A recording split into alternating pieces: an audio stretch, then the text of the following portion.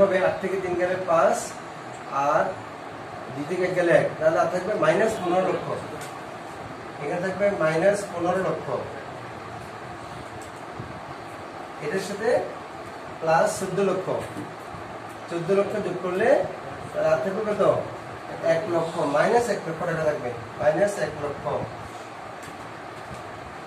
Minus এক লক্ষ। এরপরে মাইনাস এক লক্ষের সাথে যদি আমি পনেরো লক্ষ যোগ করি তাহলে কি হয়ে যাবে এটা? এটা হচ্ছে প্লাস চোদ্দ লক্ষ হয়ে যাবে, আর এখানে আর মাইনাস থাকবে না। প্লাস চোদ্দ লক্ষ হয়ে যাবে। চোদ্দ লক্ষের সাথে এবার ষোলো লক্ষ যোগ করো। তাহলে কত হবে? ছয় দশ তিন, তিরিশ লক্ষ টাকা।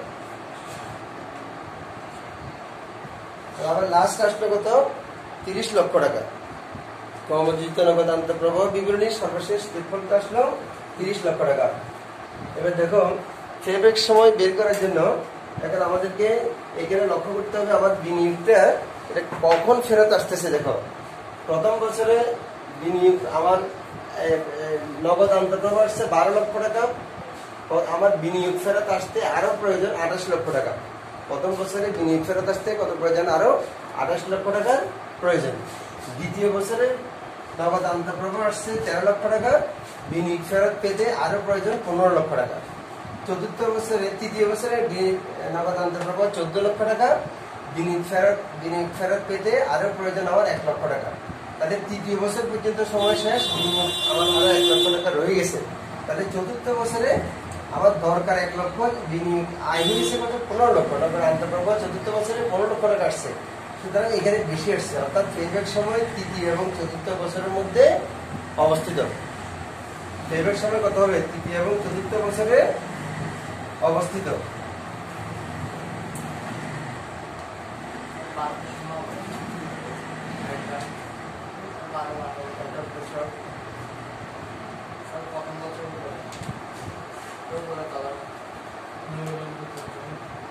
নগদ আন্তঃপ্রবাহ টাকায় চল্লিশ লক্ষ।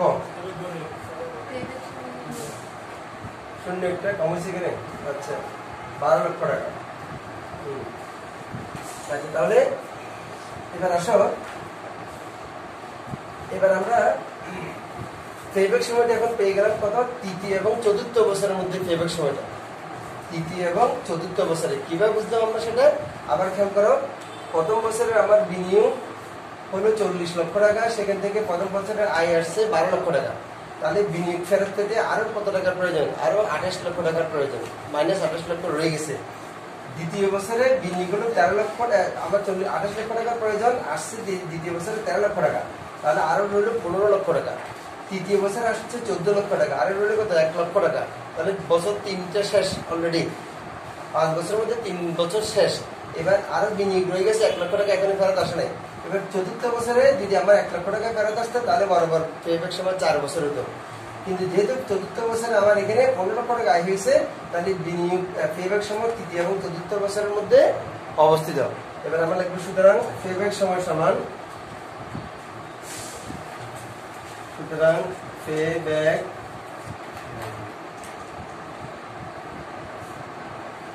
পেব্যাক সময় সমান প্রথমে তিন যোগ এবার তৃতীয় বছরের আয়কে চতুর্থ বছর দিয়ে ভাগ করো।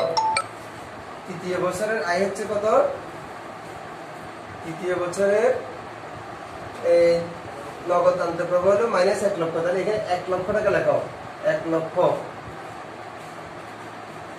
এক লক্ষ টাকা লেখো। আর চতুর্থ বছরের এটা পনেরো লক্ষ। এক লক্ষকে পনেরো লক্ষ দিয়ে ভাগ করো। এখানে দেখো বছর। এক লক্ষকে পনেরো লক্ষ দিয়ে ভাগ করে বছর? তাহলে তিন যুগ।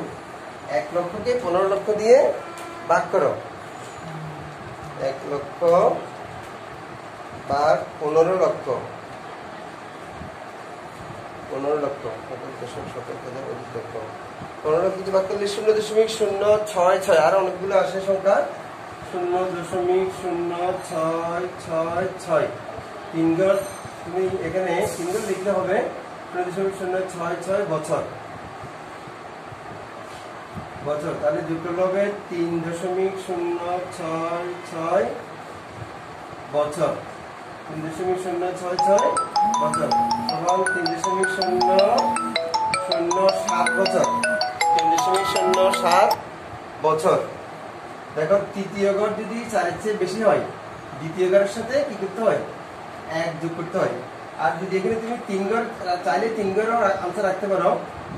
তিন ঘর যদি আনসার রাখো, তিন দশমিক শূন্য সাত, তাহলে ছয় ছয় সাত বছর। হ্যাঁ দশমিকের পরে তিন ঘর পর্যন্ত রাখা যাবে। তিন দশমিক শূন্য ছয় ছয় ছয় আসছে তো? সেই জন্য তিন দশমিক শূন্য ছয় সাত বছর হবে। তাহলে আমরা দেখলাম যে আমরা পেব্যাক সময় পেলাম কত? সুতরাং পেব্যাক সময় তিন দশমিক শূন্য ছয় সাত বছর। সুতরাং পাবিয়ান কোম্পানির পেব্যাক সময় পাবিহার অ্যান্ড কোম্পানি কোম্পানি এর পেব্যাক সময় পাবিয়ান কোম্পানির পেব্যাক সময় তিন দশমিক শূন্য ছয় সাত বছর। তিন দশমিক শূন্য ছয় সাত বছর। তাহলে দেখো, উদ্দীপকে আমাদের প্রশ্নটা যে করেছে, সেখানে প্রশ্নটা করেছে সেখানে একটা পেব্যাক সময় দিয়ে দিছে। দেখো, বলছি, তুমি কি মনে করো, উদ্দীপক থেকে ফাবিয়ান কোম্পানির বিনিয়োগকৃত অর্থ তিন দশমিক পাঁচ বছরের মধ্যে ফেরত আসবে? তোমার মতামত গাণিতিকভাবে উপস্থাপন করো। তাহলে আমরা, আমাদের পেব্যাক সময় আসছে তিন দশমিক শূন্য ছয় সাত বছর। আর উদ্দীপকে দেওয়া আছে তিন দশমিক শূন্য পাঁচ বছর। অর্থাৎ তিন দশমিক পাঁচ হচ্ছে বড় সংখ্যা, আর তিন দশমিক শূন্য ছয় সাত এটা হচ্ছে ছোট। তাহলে দেখা যাচ্ছে যে যে অবশ্যই আমরা বলতে পারি যে হ্যাঁ তিন দশমিক পাঁচ বছরের মধ্যে ফেরত আসবে। বরং তার চেয়ে আরও কম সময়ের মধ্যে ফেরত আসবে। তাহলে আমরা এই যে বলতে পারি, সুতরাং ফাবিয়ান কোম্পানির ফেব্যাক সময় তিন দশমিক শূন্য ছয় সাত বছর। কোম্পানিটি মেশিনের মেয়াদ কাল হচ্ছে কয় বছর? পাঁচ বছর। তবে ধারণা করা হয়েছে বিনিয়োগকৃত অর্থ কি? তিন দশমিক পাঁচ বছরের মধ্যে ফেরত আসবে। এটা তিন দশমিক পাঁচ বছরের মধ্যে ফেরত আসবে এটা আমরা এটা বলতে পারি। যেহেতু আমাদের এখানে ফেব্যাক সময় আরও তিন দশমিক শূন্য ছয় সাত বছর আসছে, অর্থাৎ আরও কম আসছে। গাণিতিকভাবে দেখা যাচ্ছে যে তিন দশমিক শূন্য ছয় সাত বছর এসেছে। সুতরাং আমরা বলতে পারি ফাবিয়ান কোম্পানির বিনিয়োগ তিন দশমিক পাঁচ বছরের মধ্যে ফেরত আসবে। আশা করি তোমরা বুঝতে পেরেছ। পেব্যাক সময়টা, এটা মনে রাখতে হবে তোমাকে।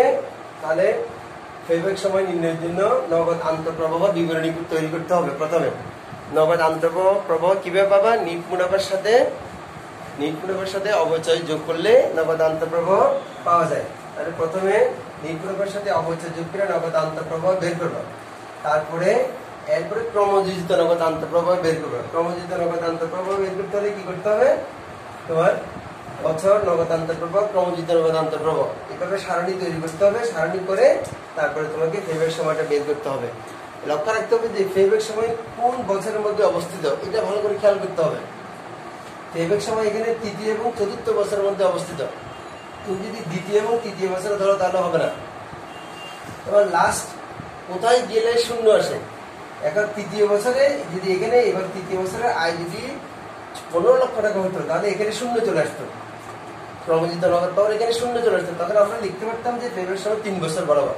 এখন তিন বছর লিখতে পারতেছি না, কারণ চতুর্থ বছরের আংশিক সময় এই তৃতীয় বছরের সাথে আসবে। মোট, আমার বিনিয়োগটা ফেরত আসছে। ঠিক আছে, ধন্যবাদ সবাইকে। আশা করি আজকে তোমরা কীভাবে ফেভারিট সময় বের করতে হয় সেটা অনুধাবন করতে পেরেছ। তোমরা বাসায় নিজেরা আরও প্র্যাকটিস করবে। ধন্যবাদ সবাইকে।